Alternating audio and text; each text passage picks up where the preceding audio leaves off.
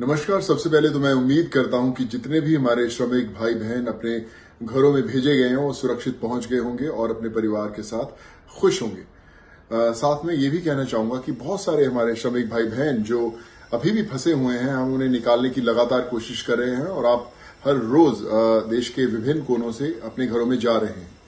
लेकिन आ, मैंने बहुत देखा है कि बहुत सारे लोग इन्हें कुछ गलत गुमराह कर रहे हैं और पैसे ऐंठने की कोशिश कर रहे हैं, चाहे वो परमिट के नाम पे हो या फिर किसी तरह की टिकट के नाम पे हो। सो मैं सबसे गुजारिश करना चाहूँगा कि आप ये मैसेज सबको दें कि हमारी जो सेवा है एकदम निःशुल्क है। किसी तरह की कोई भी पेमेंट कोई भी परमिट में किसी तरह का एक रुपया भी किसी से अगर कोई माँगता है तो तुरंत जो निकटतम जो पुलिस स्टेशन है, उसमें उस नंबर को आप सूचित करें और हमें भी, हमारी टीम को भी उसके बारे में ज़रूर बताएँ, क्योंकि हम उन उन बहुत सारे लोगों को हमने पकड़ा भी है और और भी उनकी खोजबीन जारी है।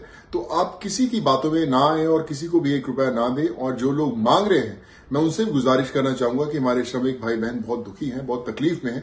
आप उनसे इस तरह पैसे ऐंठने की कोशिश ना करें ये ह्यूमैनिटी के बहुत खिलाफ है। तो अगर आपने अगर ऐसा कुछ किया या करने की कोशिश करेंगे तो हम आप पर बहुत ही सख्त कार्रवाई करेंगे। गॉड ब्लेस यू जय हिंद सर जैसे दस लोग अगर भारत में हो जाए हमारे देश में कोई तकलीफ़ की कोई समस्या नहीं रहेगी।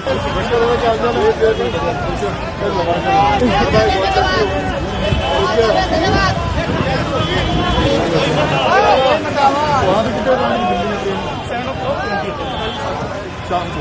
निजामुद्दीन तो निजामुद्दीन से बसें से आगे निकल जाएँगे care.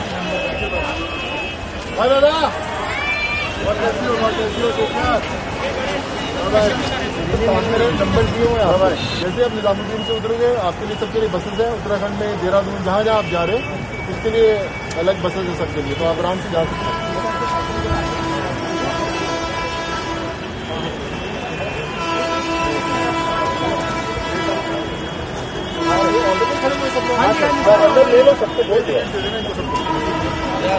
बारिश आ जाएगी बारिश आएगी बारिश आ जाएगी पहले अंदर में आ जाएगा बारिश है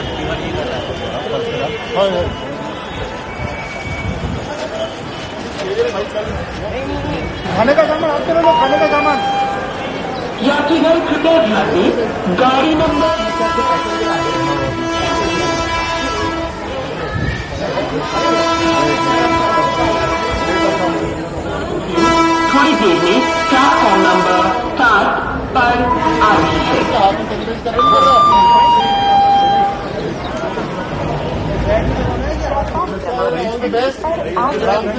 और याद से जब दिल्ली उतरोगे किसका नंबर है उमेश जी का उमेश जी आपको फ़ोन करेंगे बसेस रेडी है और फिर घर छोड़ जाएँगे सर याद से इधर उधर मत गुम हो जाना ठीक है all the best happy journey